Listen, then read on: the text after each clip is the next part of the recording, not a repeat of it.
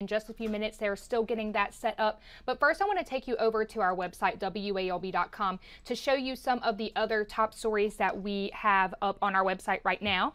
Um, we have learned that the Grady, uh, that a Grady County school administrator has um, resigned from their position and taking the same similar position in Brooks County. This is Buddy Johnson there on your screen. We're told that he, um, the county administrator there, uh, has resigned and is going to be moving to Brooks County. And I think I incorrectly just said school system. Sorry for that. It is the county administrator, not the school administrator.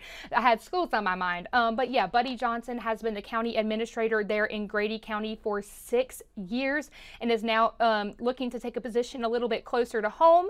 Um, and so he is going to be starting there in Brooks County.